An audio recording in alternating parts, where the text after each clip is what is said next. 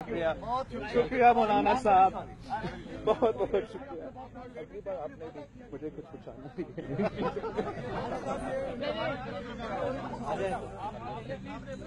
अगली बार आपने भी मुझे, अगली बार आपने भी मुझे